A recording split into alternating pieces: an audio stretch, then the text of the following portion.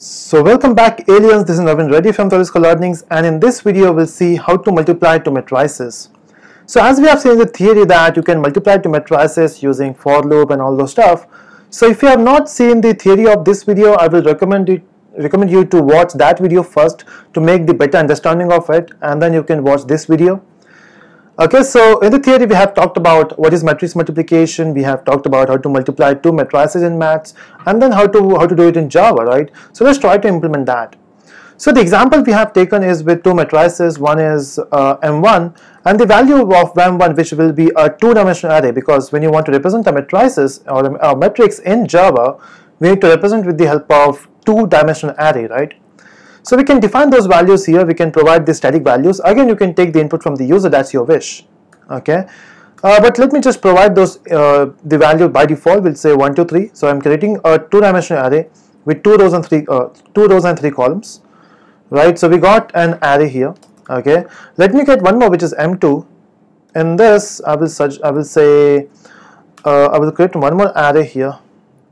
Okay, this is also a two-dimensional array this will be m2 and you need to make sure that the dimension so if this dimension is 2 uh, 2 comma 3 and this is 3 comma 2 so you have to make sure that this one this column and this rows are same right?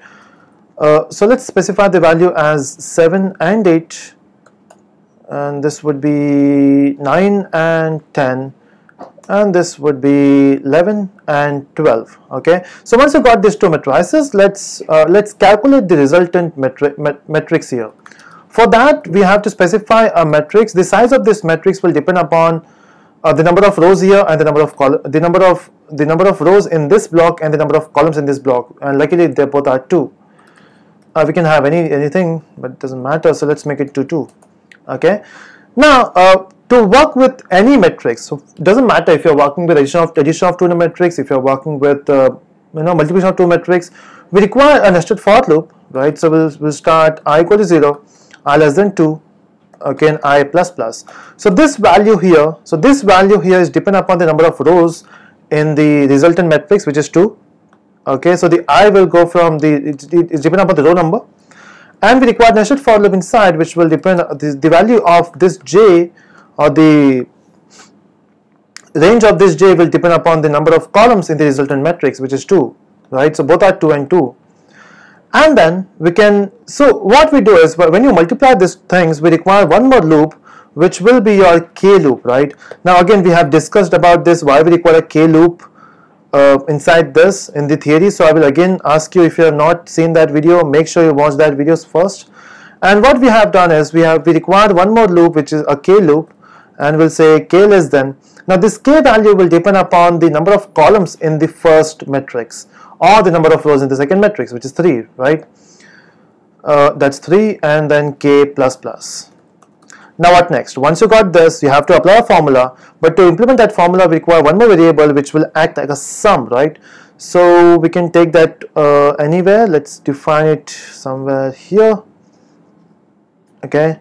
Uh, I can take it anywhere. Let's say this is int uh, we, we, can say this is int r uh, not r int, int r done right? So we have to say sum and the interval of sum will be 0 and then somewhere here you have to mention sum plus uh, sum equal to sum plus and then you have to specify the formula. And the formula is m1 of you have to specify i and k. So k will become you know k is the this this loop here and this will be m2 of k and j. That's the formula we have to use. And once you run this loop you have to make sure that you assign this sum to the uh, to the matrix itself. So we'll say m3 uh, not m3 it's r of i comma j. We can assign the value as sum. And then once you assign the value of sum you have to make it 0 so that you can start with a new calculation for the next value right so once we have done this, we'll get a loop which is, we'll get the output in this loop, okay, we'll, we'll multiply those, these two things and the output will be here inside this R array. Now what we to do is, we just have to print it. Now there are multiple ways we can do that. We can use normal for loop or we can use enhanced for loop. Initially let's work with normal for loop. So let's take an array of, or let's take an, a loop for i equal to 0, i less than 2 because that's the length of your uh, array the number of rows and then let's go for number of columns which is int j equal to 0 and j less than 2 j plus plus. Right and let's print the value here.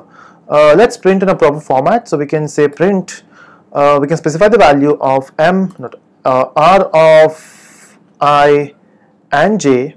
Okay we can also specify some space here so that uh, you know you can see in a proper format and we also need a space after the printing. So after every line we want a space or a line, new line right? And if I run this code you can see we got the output. This is the output we, we wanted right? So that's how you multiply two matrices in Java.